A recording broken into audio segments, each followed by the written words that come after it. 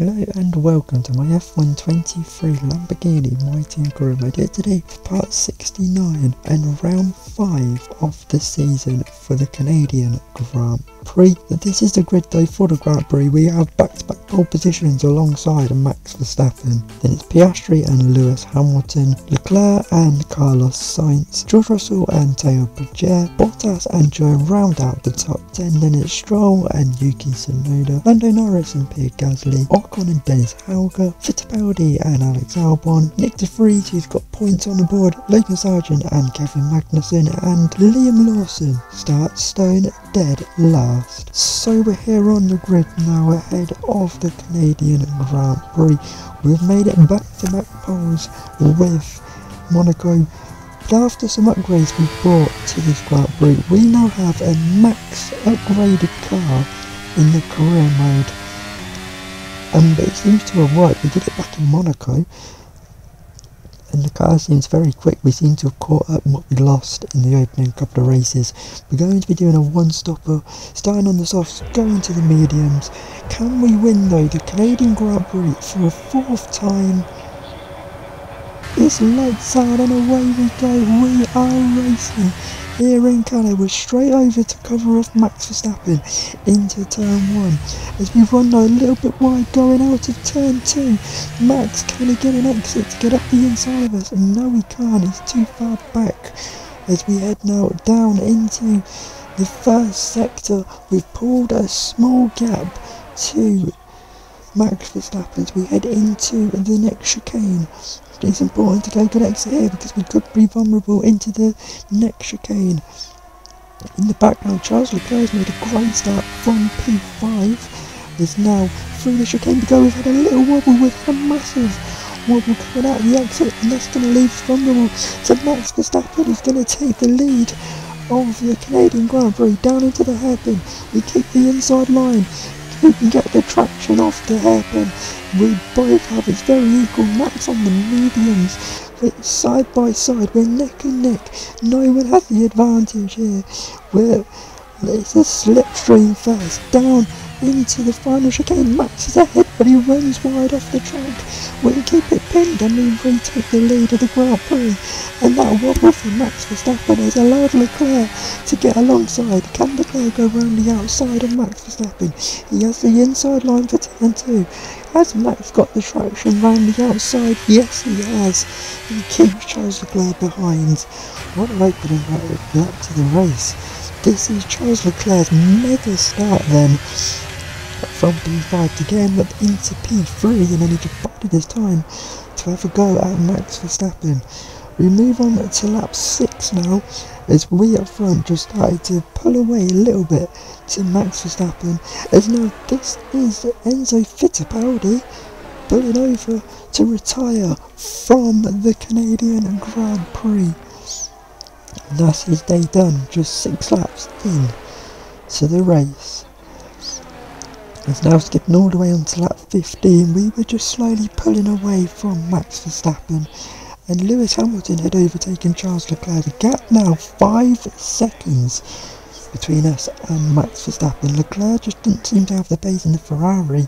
Lewis Hamilton on the, also on the medium. So really this gap that we're pulling out is very race critical for the fact that we started on the softs and at the end of lap 15 we are in.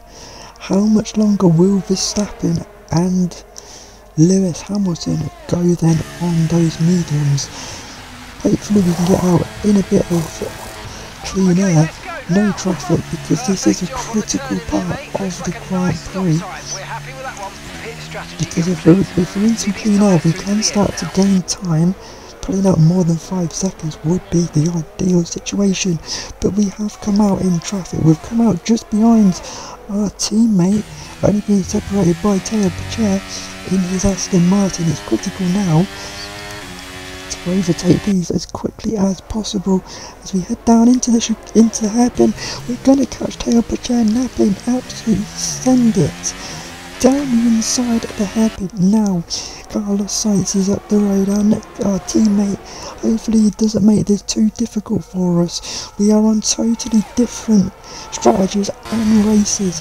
It's down the inside. I think he was a bit reluctant to let us go, but we made sure he had to. And next up is George Russell. Can we overtake the Mercedes? Very quickly we're going to go for the dive bomb into the chicane. Now though we need to get the exit, otherwise the Mercedes is going to get back at us. And really, George here could put in a shift to help his teammate out up front. As Verstappen and Hamilton both continue on, we're now got a great exit off of the hairpin and we're past Zhou before we even get to the end of the straight. He's just behind us. We have the DRS. He boxes at the, at the end of that lap. And now, because how much longer, that's three laps longer in this race than Verstappen and Hamilton have gone, we've nearly, we've nearly caught up the time loss. It was around 15 seconds. We're now 4 seconds behind Lewis Hamilton and not far off Max Verstappen, who pits at the end of lap 18. We'll just keep a good look on the timing tower. And there we go, we're through, we're gone. As Max Verstappen goes on to the hards after starting on the mediums. Interesting. Surely, I suppose he's got an extra, got to do another 18 laps. He has probably come in a bit early for the medium, so he's committed himself to the hards maybe what made sense to go a little bit longer and go into the softs, but Red Bull seem to know what they're doing and actually we've pulled a second on, uh, pulled a pit stop on Lewis Hamilton because we are right behind the seven-time world champion who were, who were battling in the early stages of the championship. He is in front of us in the world championship. As we're getting closer and closer, we're going to go down the inside to retake the lead of the Grand Prix. And when Hamilton boxes, we will be a pit stop ahead of the rest. Also depending on where he comes out relative to Max Verstappen, lap 20, so he's gone two laps longer than Max Verstappen. Lewis Hamilton comes in to make his one and only stop of the day, and he is doing what I would do, and the most logical strategy. He's going on to the soft tyres, but where does he come out? To Max Verstappen. Verstappen has already gone through. So is Charles Leclerc. So is the other Red Bull of Bottas. Mercedes going longer. They've lost out. They lost out to Charles Leclerc. We have. They've also lost out to Bottas. So being not that far off Verstappen, they've lost a lot of track positions. Have Mercedes there with Lewis Hamilton, but he's on the softs. He should have the pace, but will he run out of tyres before he catches Max Verstappen? He's not given that away to take Bottas and Leclerc as well. As we just started to lap cars, the gap 15 seconds, 20 seconds to those behind. We were flying round this track. As Dennis Hauger retires for the second time in three races.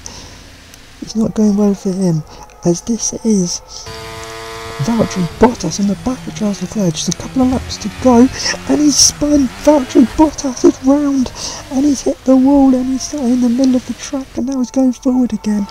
In the background, this is Zhou heading into the chicane, and he's got nowhere to go. Bottas moves right in front of him.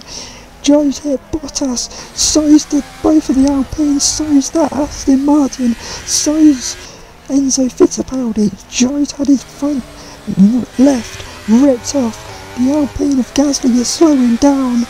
He's held up his teammate. Multiple cars have gone through.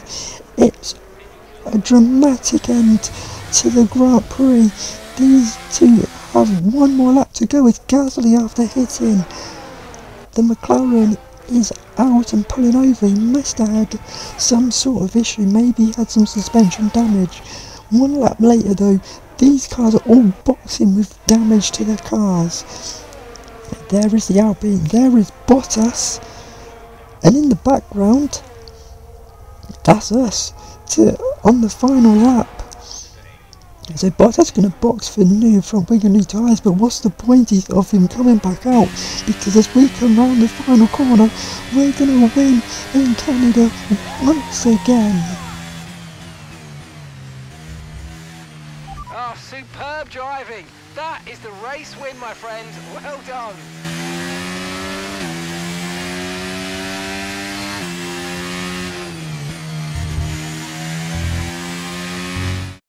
So that's it then for another magnificent Canadian Grand Prix, and they have hung on to take a sublime victory here today.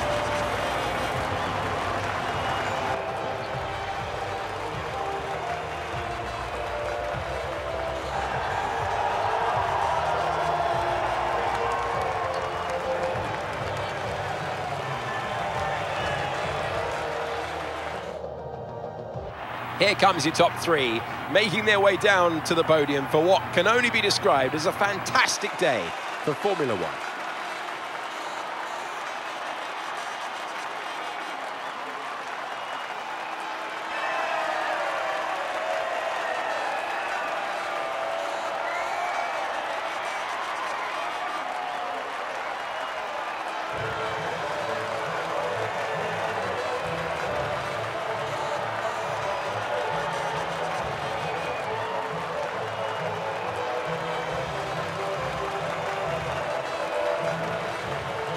So that's been then your Canadian Grand Prix dominance from our perspective. The strategy going longer on the mediums weren't really the way to go. Max Verstappen though having some redemption after he had a puncture late on last season denying him of a podium so he gets it here today. Lewis Hamilton makes it four podiums in a row now. Charles Leclerc P4 after his good start. Carlos Sainz comes home for a P6 for us in the end, so that's good for us. He's started to pick up some points now after his podium last time out in Monaco. Seems to have brought him some form, but we'll see going into the next race if he can keep that up. Valtteri Bottas has been given a penalty for that incident. I'm sure it was needed. He literally drove across the track in front of Zhou, wiping him out of the race. He is classified along with Gasly because there was just a single lap to go. So though they're both a laps down, they did retire. In terms of the Drivers' Championship then, and we close the gap to Lewis Hamilton to just four points after it was looking like a very early kind of